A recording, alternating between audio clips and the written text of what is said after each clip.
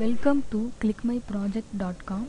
Let us discuss the process called RSSI based localization algorithms using spatial diversity in wireless sensor networks. Let us see the abstract for RSSI based localization algorithms using spatial diversity in wireless sensor networks. In many process, wireless sensor networks are based on received signal strength indication.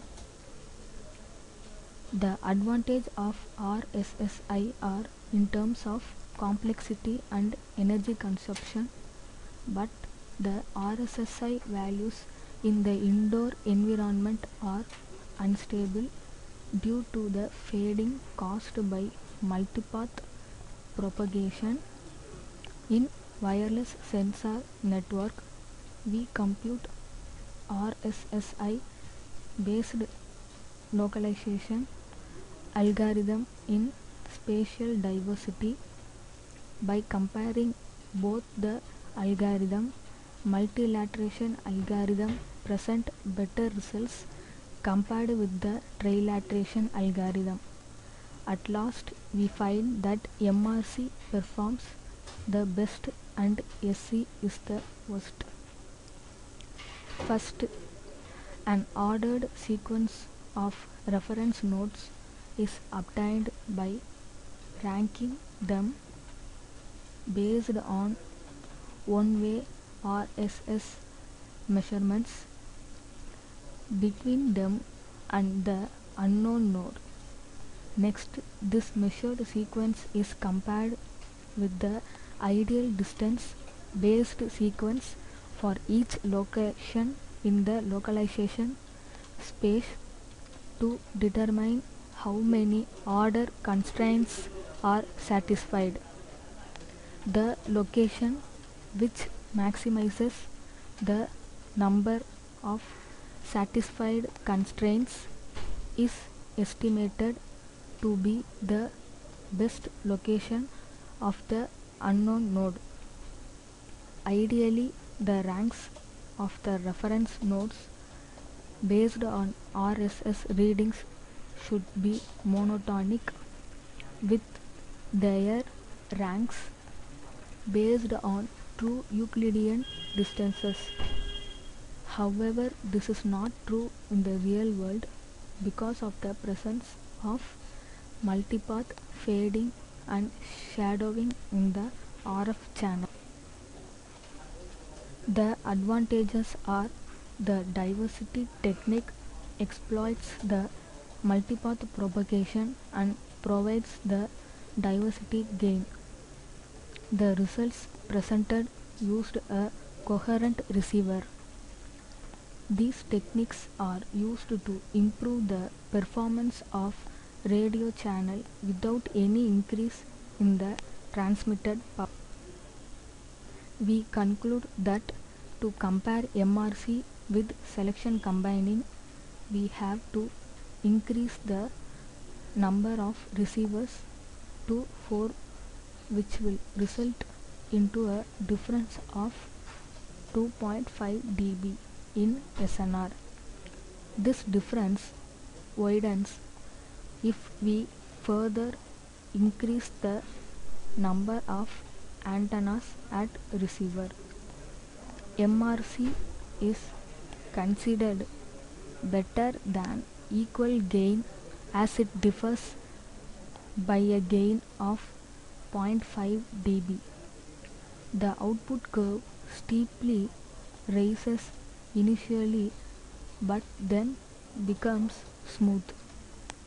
It might be because if we go on increasing the number of receiver antennas, the complexities in obtaining the desired signal will also increase. We also compared the average localization error using different diversity combining methods at the receiver namely SC, MRC and EGC. We found that MRC performs the best and the SC is the worst, although this latter is the simplest in terms of implementation. Let us discuss the flowchart for this process. Here first range identification. There has been a wide range of research aiming at developing sensors with multiple antennas. Experimental results have been achieved to show the system requirements and feasibility using multiple antennas on the transmitter end or the receiver end which leads to a better interpretation of the RSSI values compared with the traditional distance measuring and thus it affects the system accuracy. Then distance between target and anchor. The weighted average method assigns a higher weight to the sample that is closer to the target data whose RSSI value is aimed to be evaluated. However, due to the strong fluctuation of the signal, the result is quite similar with the one obtained from the moving average method. The former makes use of the absolute distance or angle calibrated from the pre-measured RSSI map which can be a set of signatures or RSSI to distance. Then signal power for antenna it indicates that received signal power should be more than the minimum receiving sensitivity level for proper communication. It is also observed that the radiation pattern of the monopole antenna is far more different than its theoretical circular radiation pattern. Even in propagation environment similar to the free space propagation then identify the target position the intersection of two lines uniquely identifies the target position as for the multilateration the collaboration of three or more anchors can enhance the estimation effectiveness the angular diversity mechanism is exploited by a progressive sensing of the incoming message over the set of available antenna beams. Consider the link of an anchor A and the target T. Upon a request message sent by an anchor, the node T responds with an opportunely repeated broadcast message. Then error calculation. In the original RSSI based localization algorithm, when measuring the actual RSSI values of the beacon nodes, the error caused by the obstacles or the antenna direction will be persistently substituted into the formula involved in the operation. The error becomes greater with the accumulation. This is the one of the main reasons of the big error in RSSI based localization. Let us see the output for this process. The main code is in mainfile.m. Now I am running this file. Here there are two types multilateration and trilateration. Now we are going to see for multilateration. SISO means single input with single output. Here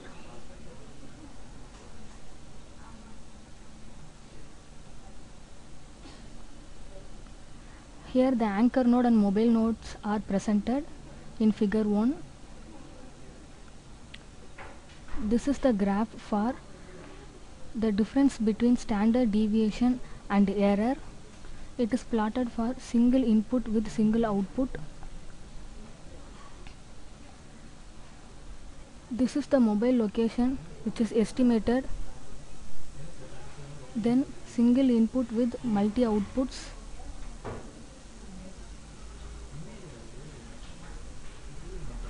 here single input so the anchor node is 1 and multi output means mobile nodes are this. The number of output may be uh, infinity numbers. This is the graph plotted for single input with multi output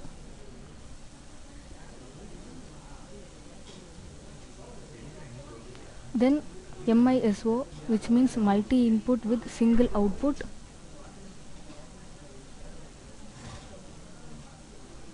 see the inputs are multiple and the output is single. This is the graph plotted for MISO that is multi input with single output. Then multi input with multi output. See the inputs are multiple and output also multiple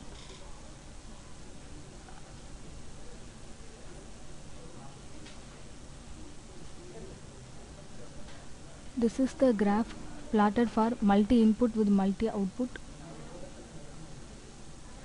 here is the error estimated where MIMO is the best because the estimated error is very low. Then we are going to see for trilateration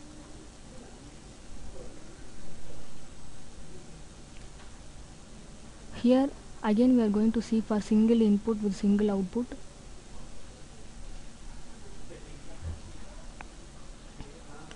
see single input single output.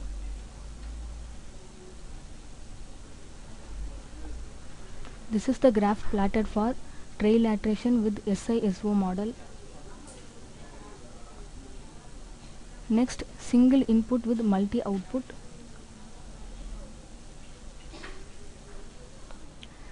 Here single input with multi output.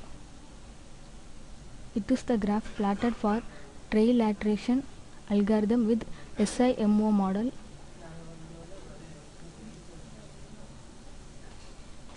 It is the anchor node. It is the mobile node. Here the location of the mobile nodes are estimated.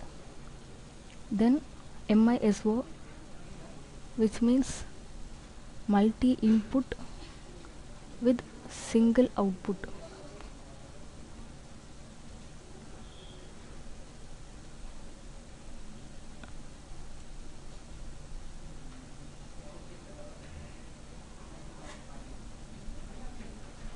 it is the graph for trilateration with MISO model.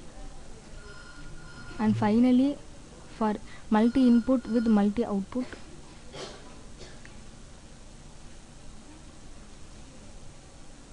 here the inputs are multiple and output also multiple. It is the graph plotted for trilateration algorithm with MIMO model these are the anchor nodes. These are the mobile nodes. And the red color is the location of mobile node which is estimated here the estimation error in MIMO is very low.